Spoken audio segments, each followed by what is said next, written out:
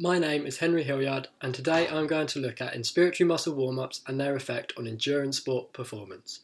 Firstly, I'm going to outline the respiratory system, then have a look at how inspiratory muscle fatigue can affect performance. After that, I will show you how to warm up these inspiratory muscles and how this affects sporting performance. Finally, I will summarise and conclude what I have found. There are three groups of respiratory muscles that make up the ventilator pump the diaphragm, the ribcage muscles, which include the intercostal muscles, the parasternal muscles, the scalene and neck muscles, and the abdominal muscles. It has been concluded by many studies that inspiratory muscle fatigue results in a decrease in endurance sport performance. This fatigue appears to be due to an interaction of diaphragmatic work combined with increased blood flow competition with the locomotor muscles and the increased production of metabolic byproducts. Let's look at the competition of blood flow in a little more detail. Sheel et al. stated that metabolites which are associated with fatigue and muscle contractions in the respiratory system have been shown to induce a time-dependent increase in sympathetic nerve activity, leading to elevated vasoconstriction in legs and reducing muscle blood flow. This is due to a constant battle between respiratory muscle and lower limb muscles in their fight for blood flow. This is known as the respiratory muscle metaboreflex.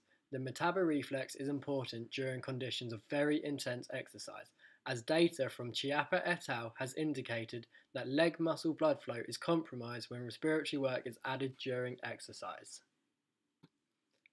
Let's have a look at how the use of inspiratory muscles can affect endurance performance. A study by Wuthrich and Notter investigated whether inspiratory muscle fatigue would compromise exercise performance, more specifically cycling performance via increased quadricep muscle fatigue.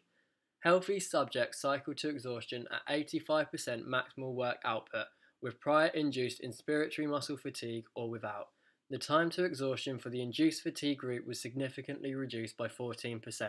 Furthermore, looking closer into the lower limb muscles and their fight for blood flow, results showed that reduction of quadricep contractility was greater when inspiratory muscle fatigue took place prior to exercise, thus agreeing with the metaboreflex theory mentioned earlier.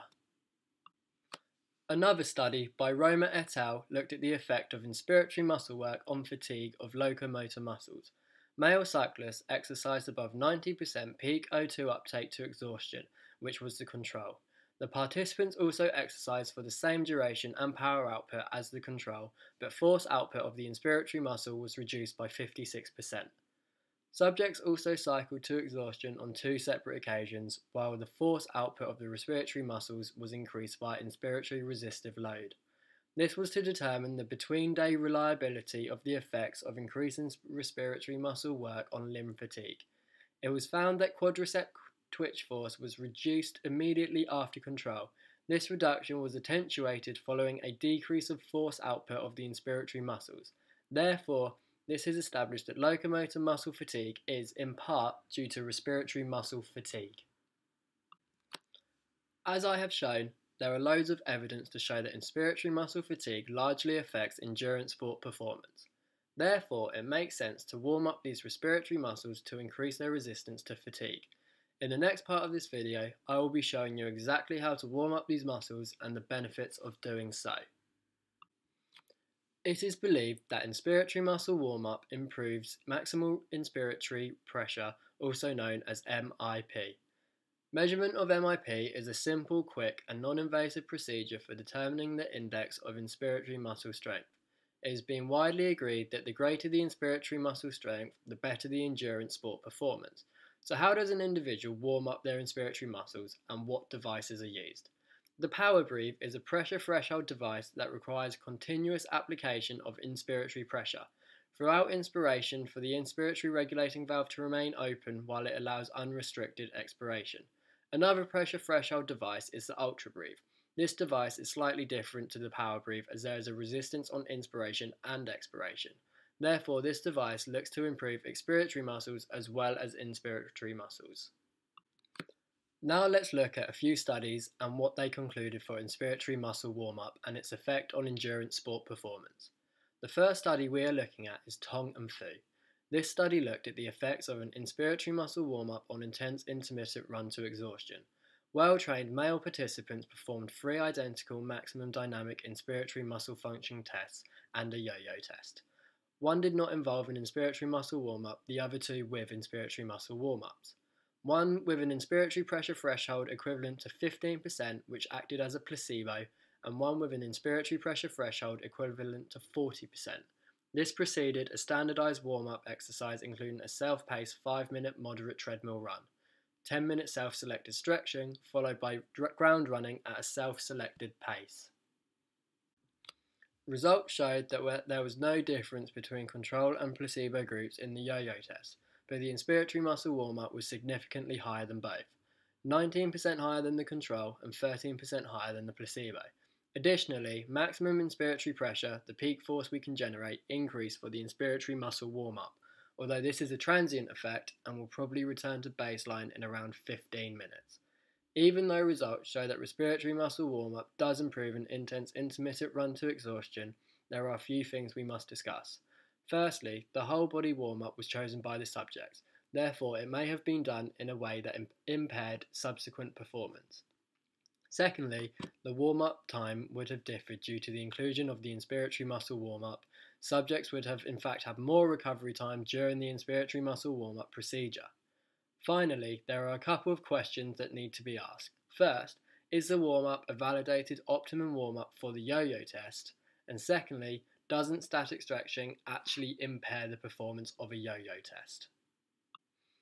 A different study that also looked at an inspiratory muscle warm up and its effect on cycling time trial performance is Johnson et al.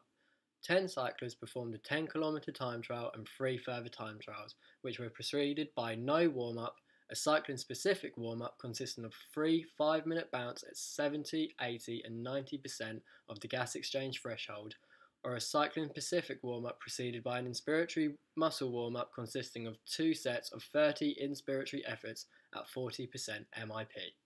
MIP was measured during all three procedures at the start and after 8 minutes, which was either after rest or the inspiratory muscle warm up, dependent on the procedure. Once the first MIP was measured, the timeline was fixed at 30 minutes for all three procedures. Results showed no significant difference between psych and IMW when looking at time trial performance time, although both were faster than the control, with psych being 1.6% quicker. Physiological responses such as breathing pattern, heart rate, and blood lactate, as well as perceptual responses such as leg discomfort, was not different between psych and IMW. MIP increased after the inspiratory muscle warm up by 8% but returned to baseline levels following the time trial.